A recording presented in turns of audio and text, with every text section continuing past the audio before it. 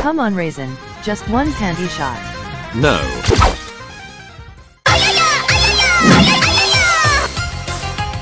There's no way my panty shot would become the next Bunbunmaru news.